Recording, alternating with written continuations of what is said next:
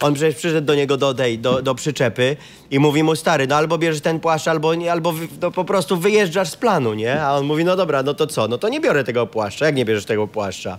No nie wziął tego płaszcza, rozumiesz, dlatego tam nie zagrał. Jak kto? No Brad Pitt.